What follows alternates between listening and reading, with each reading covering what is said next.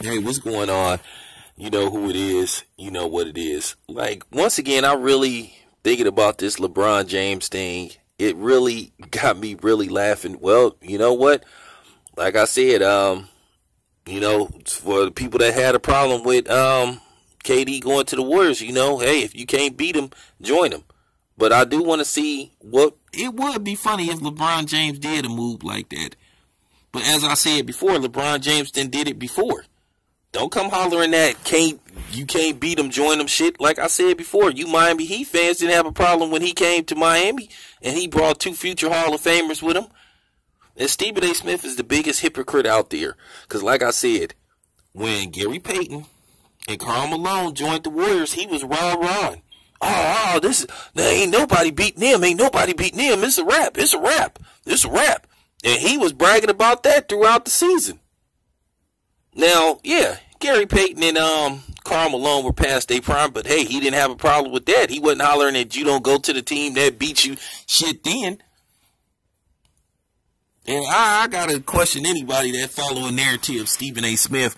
Uh, Stephen A. Smith is a fraud, and now Stephen A. Smith just started to look more stupider and stupider for saying that shit because he looks stupid now.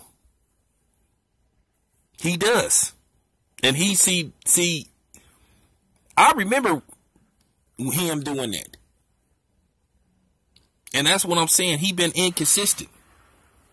Cause like I said, don't give me that shit about dudes for past their prime. Stop making up fake narratives. You can't push the goalpost back because you have to call everything out.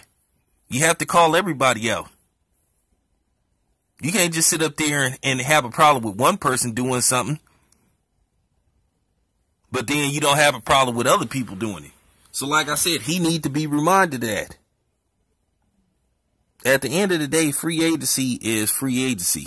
So like I said, if KD going to the Warriors was a weak move, then LeBron James going to the uh, Heat was a weak move. And if he go to the Warriors, like I said, it wouldn't be the first time he did some shit like this. Went to pretty much a, a, a ready-made team. So stop the shit. Cut it. This whole narrative that Stephen A. Smith been pushing out is just fake.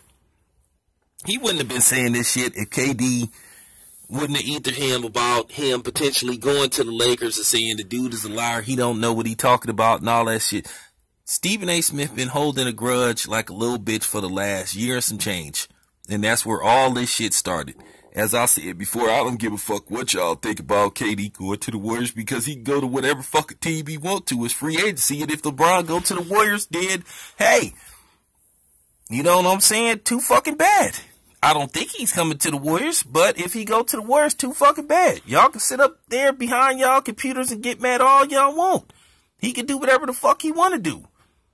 It's still not gonna take away the fact that he gonna go into the NBA Hall of Fame on the first ballot and he's still gonna be considered one of the greatest players that ever played. Okay? This totally different from Michael Jordan uh, joining the Wizards. Michael Jordan knew the Wizards didn't have a chance in hell of competing for a championship. He just went because he just had that itch.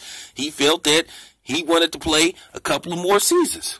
And then, you know what I'm saying? He helped the Wizards sell uh, tickets.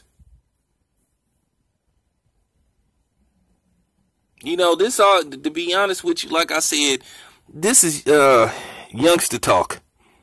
Cause we live in an age where people push fake narratives and shit. Where people get mad at shit that's been going on forever and shit. Like I said, free agency is free agency.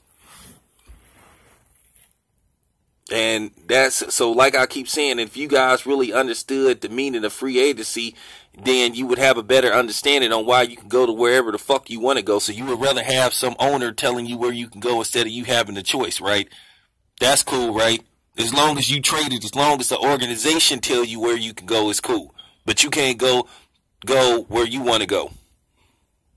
I'm the type of person a guy can go wherever the fuck he want to go. I'm not going to tell the guy what team he should go play for. Because you don't have that right.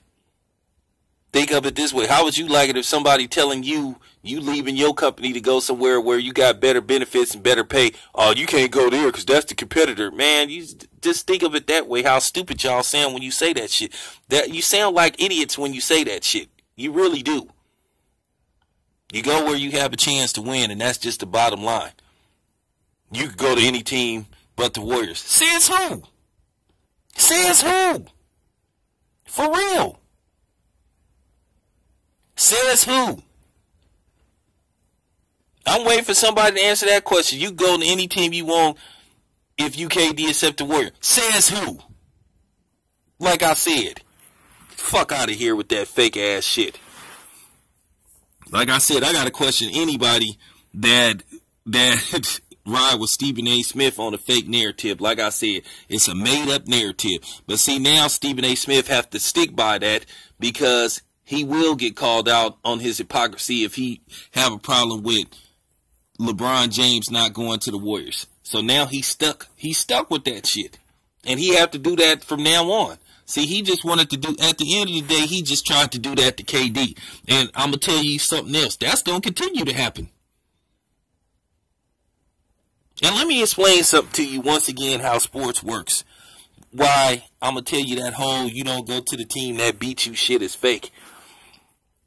One way or another, if you don't finish your career with one team like Tim Duncan did or Kobe Bryant, you didn't lost to a team one way or another, whether it's in the regular season or or whether it's in the playoffs. So that that's another fake narrative. So you mean to tell me that so so let me get this straight.